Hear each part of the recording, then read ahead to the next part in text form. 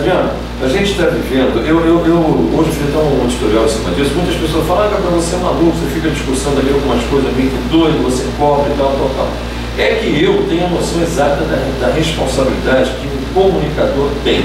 Porque é, os colegas, e eu sempre falo isso também, tem muitos colegas de, de emissora, Rádio CBN, que são amigos formados em Nova Iguaçu, são amigos que a gente fez ao longo de tanto tempo de rádio, de TV, dois anos e meio que fiquei na TV Bandeirante, é, fazendo TV baixada, inclusive também voltado para a região, e as pessoas falam, ah, você erra que você não coloca violência no seu programa. Se você colocar tiro, bomba, pancada, sangue, o programa vai ter mais audiência. Graças a Deus eu liderei a audiência na Baixada Fluminense, no horário de 10 a meio-dia evidentemente perco para as duas grandes poderosas, né, que são é uma máquina de dinheiro, uma máquina inclusive de formar opinião. E a gente tem esse compromisso. Eu, eu sempre digo aqui que o Brasil precisa colocar 50%, 50% do PIB da nossa riqueza na educação. Depois, se nós conseguíssemos chegar nesse 50% na educação, e a classe política brasileira, o Congresso Nacional não vai fazer isso nunca, porque eles não querem isso, eles precisam que o povo não tenha a, a instrução devida, a orientação segura, que não tenha esclarecimento para votar bem, para não votar mal. Eles preferem continuar apostando nessa ideia de que todo político é corrupto, todo político é canalha, que não é. A gente tem gente séria trabalhando no Congresso, tem gente séria trabalhando nos estados, a gente tem gente séria trabalhando nos municípios. Nós precisamos é alijar alguns maus. Mas eu estou chegando a essa conclusão que a gente vai aplicar 50% do PIB na educação e esperar 40, 50 anos para a gente formar em si uma outra geração, fazer um país diferente. Enquanto nós não fizermos isso, nós vamos ficar trocando dinheiro de, de, de dólar, de, de, real para cruzeiro, de cruzeiro para pataca, de pataca para merreca, vamos ficar nessa história aí, não vamos chegar a lugar nenhum. Agora você imagina, é, até para mostrar o meu acerto, acho que você vai concordar comigo, o abismo entre o ensino público e o ensino privado. É, é, ele é fantástico. Três escolas do Rio, quatro de Minas uma de São Paulo figuram no ranking nacional das dez melhores do Exame Nacional de Ensino Médio, famoso Enem, que é de 2010, está sendo divulgado agora. É, em Minas, o colégio de aplicação, é, o único colégio público que constitui uma boa colocação é o colégio de aplicação que é ligado à Universidade Federal de Viçosa.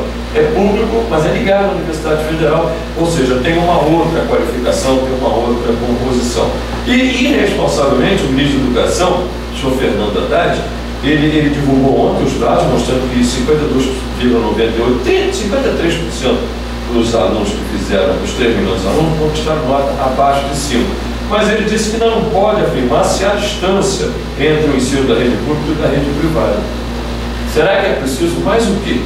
Gabriel, eu tive o prazer de, de dar uma carona o professor Cristóvão Boato, né? É, e fui, claro, vislumbrado com, a, com, esse, com esse momento, que eu considero uma das autoridades da educação do país, é, perguntando aí, conversando com ele sobre a questão, que é uma temática que ele domina com tanta propriedade. E ele comentou que tinha visitado alguns países do leste europeu e falou que ah, nós saímos, eu não me recordo exatamente do país, eu, no momento se eu falar não, vai ser correto, mas eu não recordo o país. Ele disse que foi de duas cidades, como Rio e São Paulo, duas cidades principais desse país, e que levou uma distância, ele fez até comparação em relação ao Rio e São Paulo, que é quase 7 km, 300 km, por assim, e ele falou assim, olha, levei não sei quantas horas, tá, porque as estradas eram muito ruins. E aí ele, ele estreou porque ele foi lá fazer uma palestra na área de educação e, é, se não me engano, era Ucrânia, se não me engano, era Ucrânia. É, era um país, é, suspeito alguma, alguma falha, perdoe, mas era um país que, liderava um número de, tinha mais um maior número de PHDs né, dentro da, da, da né, na sua população, a, a grande maioria da população tinha a formação, é, formação universitária, e é, o país estava crescendo naquela época, se não me engano, 12 a 14% ao ano. Assim que se desvinculou do bloco soviético, teve um crescimento fantástico. E aí ele perguntou à pessoa que estava conduzindo o país, né, porque a estrada, poxa, mandavam gente, mandavam, mandavam gente é, é, é, né, que é também um centro de pesquisa época da União Soviética, era ali na Ucrânia, mandava gente para o espaço e não tem estrada. Né? E por que depois pegou esse centro de pesquisa e se transformaram, né, é, viraram uma, uma, coisa mais. Não, que a gente primeiro está trabalhando investindo na educação para depois a gente pensar na infraestrutura do país. Ou seja, tem, tem método, né? tem objetivo. Sim, então que o reflexo disso já era o crescimento econômico considerável daquela, daquela população, daquele país. Né? Havia um problema também ali que era uma grande quantidade de doutores e, e mestres dirigindo táxi, né? porque você não tinha também uma economia que pudesse assimilar. Advogado e médico no Brasil, no Rio de Janeiro, por exemplo, faz concurso para conluio, para garimpo, com todo respeito ao garimpo. Então, a gente fala em faculdade, a gente inventou que todo mundo tem que ter faculdade, as faculdades são horrorosas, a formação acadêmica brasileira é terrível. A gente tem no Brasil é, é, 2.486 faculdades de direito, que dá para ter no máximo 300 em nível de qualidade de formação. Mas lá em Rio Grande, você já, você já visitou, já viu, já leu a base do Baikonur? Não. Que é a base de lançamento de foguetes da antiga União Soviética. Sabe como é que o russo lança foguete? Não, qual é? Em Baikonur. É sério? É sério, é sério, é sério. Esse é o meu problema. Aliás, foi o meu problema com as mulheres. Eu nunca sabia se as mulheres viam de ou para mim. Essa história sem brincar. Então, a gente coloca lá um tipo um caminhão e na traseira eles acoplam ali o foguete e dispara na traseira do caminhão. Vai embora. O americano faz aquela torre gigantesca, usa quatro, cinco quadras isoladas, né? É eu, eu, eu, como ex, é, é, o Lula falou que depois de 40 anos de idade está mais esquerda. O 41 deve estar azedando, deve estar com prazo de validade vencida. Mas como o cara que passou lá, se disse, entendeu socialista comunista lá atrás, na minha adolescência, eu era eufórico em relação a isso. Mas é engraçado, a União Soviética, ela mandava a gente para o espaço, vamos fazer uma, uma torradeira emprestada. Eu há pouco tempo parei numa estrada para ver um livro, um livro de interesse, interesse guerra, interesse comercial. É, é, interessante? Não, mas é interessante isso. Ao mesmo tempo também, você tinha na população, isso poderia, poderia dar certo, a informação demais.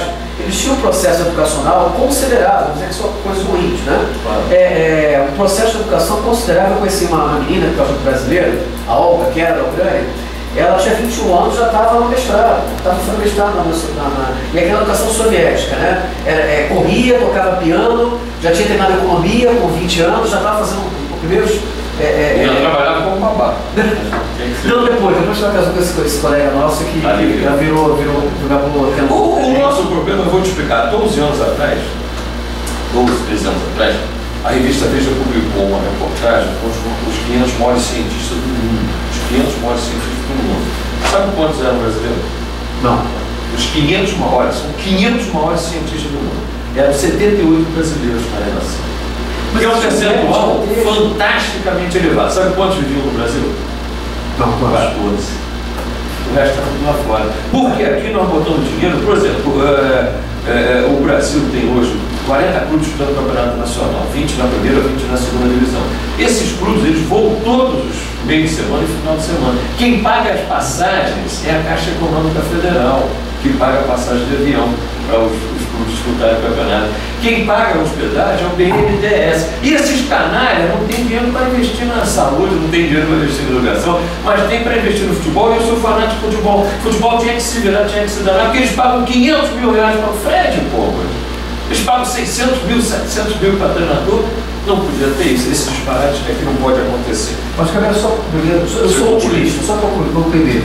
É, a gente tem um avanço considerável. Você, há 10 anos atrás, uma pessoa de, de é, é, classe pobre, acessar a universidade era uma coisa, era uma coisa extraordinária, só com muito esforço pessoal, dedicação à família. Claro. Né? Eu acho assim, sabe, você fala sempre, eu sou um otimista.